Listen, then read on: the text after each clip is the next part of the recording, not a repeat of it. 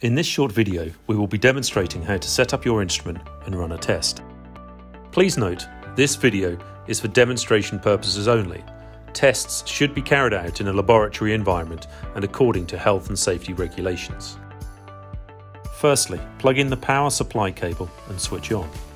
From the start screen, select the operator field and enter the user details. Press the green tick box when complete.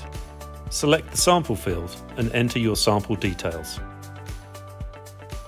Press the green tick box when complete. The method ASTM D8073 and IP624 is already pre-selected. Press the green arrow to proceed. Follow the on-screen instructions for the test preparations. Lift the sonicator arm by pressing and releasing the lock button. Prepare the sample as per the test method and pour 220 millilitres plus or minus 10 millilitres into a new test beaker. In accordance with the test method, the beaker must have a concaved bottom. Place the test beaker on the sample holder and press next. Lower the sonicator arm, press the lock button and press next. A new filter must be installed for each test. Lift and rotate the cartridge locking handle. Insert the new filter into the filter port. Then lift and rotate the cartridge locking handle back, inserting the tube into the filter. Pressing next starts the test.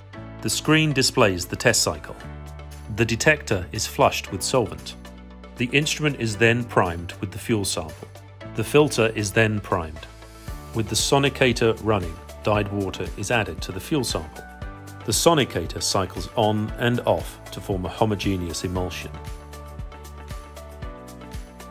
The instrument runs a reference sample, bypassing the filter but through the detector.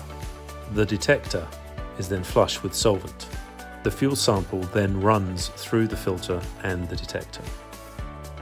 At the end of the test, the result is displayed on the screen. For more information, please visit www.stanhope-seta.co.uk.